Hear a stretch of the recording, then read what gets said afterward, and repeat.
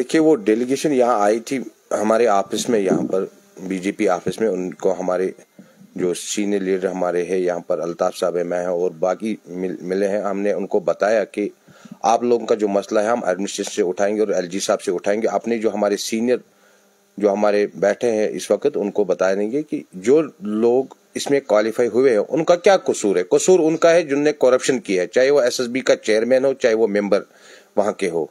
उसमें के एस अफसर है या आई एस अफसर है, उन पर सिकंजा कश हो बच्चों पर क्यों कसते हो आप? बच्चों ने क्या किया? बच्चों ने तो क्वालिफाई एग्ज़ाम किया है। जिन पर करप्शन का इल्ज़ाम लगा है, उनकी इन्वेस्टिगेशन करनी चाहिए। जो भी अफसर उसमें फंसता है, उनको नौकरी से बर्ताव करना चाहिए, उनको जेल भरना चाहिए। जिस तरह आपने पुलिस सब इंस्पेक्टर स्क्रैप किया, वो लिस्ट या उनका इंटरव्यू स्क्रैप किया, जो उसमें फंसे हैं तो बच्चों का आपने तो आ, वो स्क्रैप कर दिया मगर जो फंस गए उसमें जिन पर आपको शक है उनको भी जेल भरना चाहिए ना।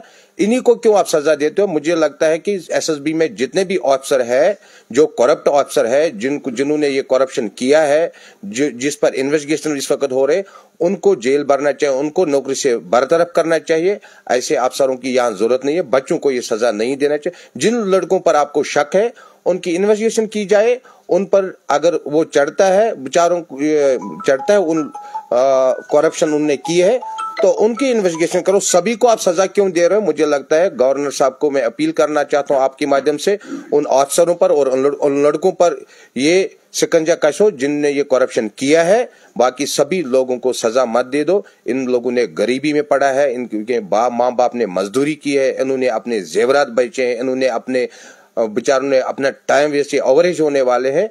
इनके साथ ऐसा जुल्म मत कीजिए। जिन लोगों पर शक है, उनको आप पकड़ लीजिए। आपकी तरफ़ से